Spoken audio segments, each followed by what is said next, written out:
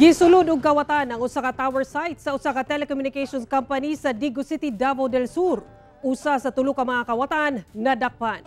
Sa investigasyon sa Digo City Police, nagpahigayon og inspeksyon ang roving guard sa buong tower site nga naimutang sa puro kalubihan sa Barangay Kugod, Digo City alas 3 Miyerkules sa kadlawon.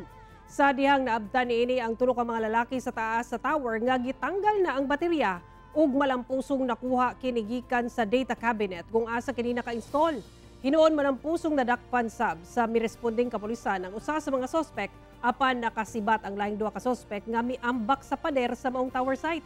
Nagpabuto pa kuno og pusil ang mga sospek ato sa pagsibat sa kayang usa ka motorsiklo. Gipasakaan na og kasong robbery ang nadakpang sospek nga wala na mihatag og pahayag.